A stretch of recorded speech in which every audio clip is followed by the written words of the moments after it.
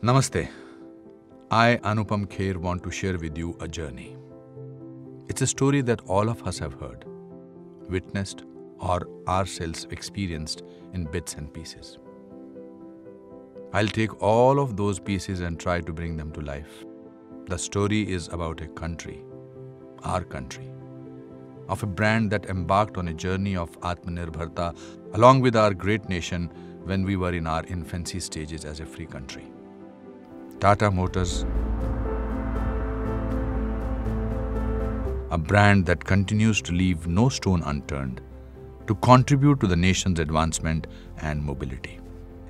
Tata Motors एक ऐसा नाम जिसमें भरोसा है विश्वास है हमें आपको और इस देश को a brand that has changed lives, yours and mine.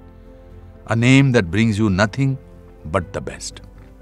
हमारा ब्रांड हमारे देश का brand Tata Motors as we celebrate four million happy customers let's take a walk down the memory lane आज़ादी के कुछ साल पहले, जब हम बंधे हुए थे जंजीरों में, जब हम सबने ठान लिया था अपनी और अपने देश की किस्मत बदलने का।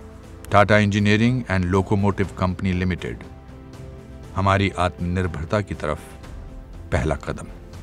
एक ऐसे देश का सपना जो रोशन करेगा पूरी दुनिया को, सिखाएगा जीने का एक नया तरीका। यह सपना हम सबने साथ में देखा और पूरा किया उन्नीस सौ इक्यानवे में। नब्बे के दशक की शुरुआत में देश के इतिहास का एक नया पन्ना लिखा जाने लगा। इकोनॉमिक लिबरलाइजेशन एक उज्जवल भविष्य की तरफ़ पहला कदम। भारत तरक्की कर रहा था और उन्नति की तरफ़ बढ़ता चला जा रहा था। और उड़ान भरने लगी थी हर भारतवासी की उमंगें और इच्छाएँ। हम यंग नेशन के नाम से जाने गए और हमारे हर युवा में एक जोश था, कुछ पाने का, कुछ कर दिखाने का, मुश्किलों को पार कर अपने सपनों को हकीकत बनाने का। मुझे याद है आज भी जब मैंने टाटा सफारी खरीदी थी। वो गाड़ी नहीं, एक एहसास था। एक नया सा जोश भर देती थी वो गाड़ी। ज़िंदगी की कठिनाइयों से लड़ने की ताकत दे देती थी। एसयूवी कार क्या होती है? ये सफारी ने हमें बताया। Bold, rugged and adventurous.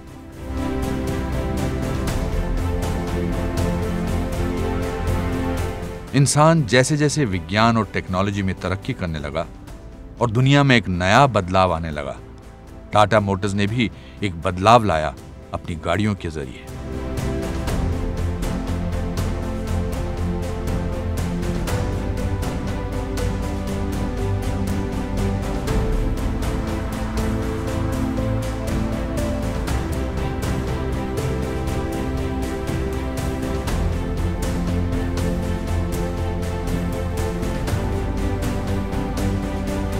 कुछ वर्ग के लोग अभी भी हर दिन ज़िंदगी की लड़ाई लड़ रहे थे। हमेशा की तरह हमारी ब्रांड टाटा मोटर्स ने फिर एक नई क्रांति की शुरुआत की।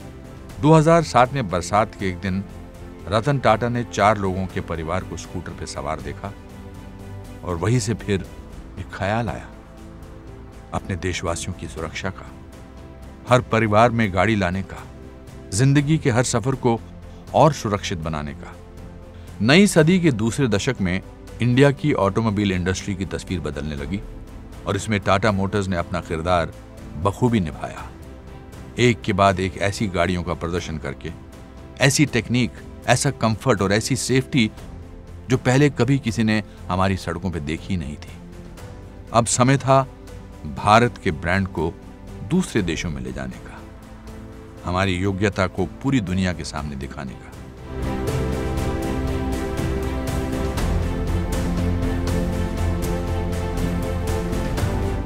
जहाँ लोग बात करते थे विजन 2020 की, वहीं टाटा ने अपने विजन को समय से पहले साकार किया।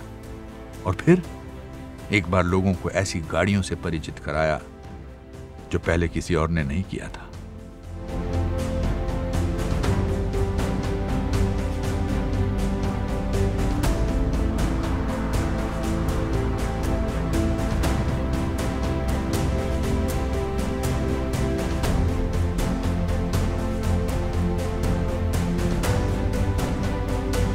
फिर एक नया साल जब हमने किया प्रण, बदलने का, देश की सोच बदलने का, गाड़ी को एक नए नज़रिए से देखने का, सेफ्टी, सुरक्षा को लोगों की नज़र में अहमियत दिलाने का। इस बदलाव की शुरुआत हुई जब नेक्सॉन बनी देश की सबसे पहली ब्रांड, जिसे ग्लोबल एन कैप से मिले फाइव स्टार सेफ्टी रेटिंग्स आज जब हम 2020 में, जहाँ दुनिया और ज़िंदगी ने एक नया मोड़ ले लिया है वहीं टाटा मोटर्स अपने कर्तव्य पर अटल है। सुरक्षित गाड़ियाँ, सुरक्षित लोग, सुरक्षित देश।